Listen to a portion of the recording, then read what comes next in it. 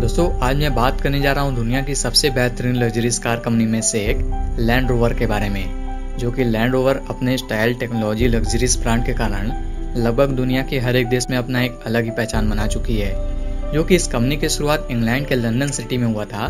लेकिन आज इतने बड़ी कंपनी को टाटा मोटर ने पूरी तरह से अपने अंडर में ले लिया है। लेकिन क्या आप जानते हैं कि लैंड रोवर कंपनी की शुरुआत लैंड रोवर नाम से नहीं हुई थी? और साथ ही साथ क्या आपको पता है कि इस कंपनी की शुरुआत साइकिल बनाने से हुई थी।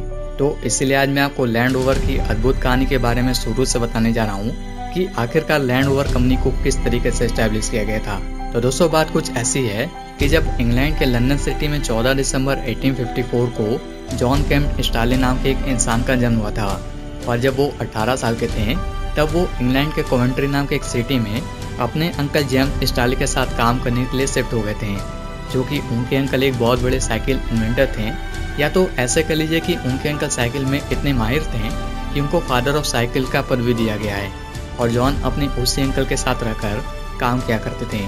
और जब उन्हें अंकल के साथ काम करते करते पूरे पाँच साल हो गए, फिर उसके बाद उन्होंने एक साइकिलिस्ट के साथ मिलकर, जिनका नाम विलियम सोटोन था तो जॉन स्टाले विलियम सोटोन के साथ मिलकर 1877 में उन्होंने खुद की कंपनी को ली जो कि उन्होंने अपने सरनेम को यूज़ करके अपनी कंपनी का नाम स्टालिन सोटोन रखा। और जॉन अपने अंकल के साथ रहकर साइकिल मैन्युफैक्चरिंग के बारे में सीखते थे, इसीलिए वो लोग अपने शुरुआती दिनों में अपने कंपनी में साइकिल को डेवलप किया करते थे और साथ ही साथ ट्राई साइकिल को भी डेवलप किया करते थे।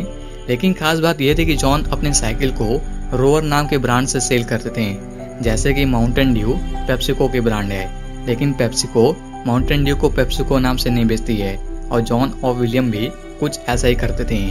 और जॉन की कोशिश हमेशा ये रहती थी कि वो साइकिल में कुछ नए इन्वेंशन को करें, जो कि चलाने में काफ़ी इजी हो और साथ ही साथ सेफ्टी भी हो।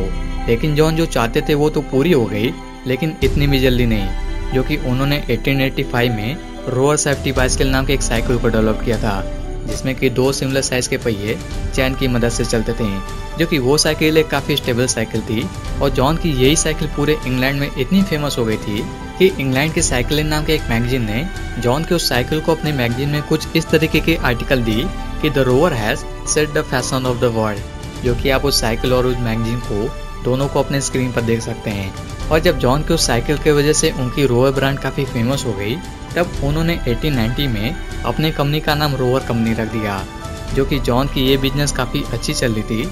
इसीलिए वो चाहते थे कि अपनी कंपनी को और भी बाकी चीज़ों में एक्सपेंड करें। इसीलिए जॉन 1899 में फ्रांस की पियोकोट ऑटोमोबाइल मैन्युफैक्चर कंपनी से मोटरसाइकिल को असेंबल करके इंग्लैंड में बेच दिया करते थे। लेकिन इस काम को स्टार्ट करने के दो साल बाद ही 1901 में जॉन की अचानक से मौत हो गई, जो कि उनकी उम्र सिर्फ़ और सिर्फ़ 46 साल ही थी। और जब जॉन की मौत हो गई, तब जॉन की रोवर कंपनी को हैरी जॉनसन लॉसन नाम के एक एंटरप्रेन्योर ने अपने हाथ में ले लिया था। जो कि हैरी भी एक साइकिल डिज़ाइनर और बिजनेसमैन थे। और उनकी कंपनी की ये सफ़र कुछ ऐसे चलती गई। फिर उसके बाद रोवर कंपनी के अंतर्गत कार को भी मैन्युफैक्चर करना शुरू किया गया। और अब रोवर कंपनी साइकिल, मोटरसाइकिल और कार तीनों चीज़ को खुद मैन्युफैक्चर किया करती थी।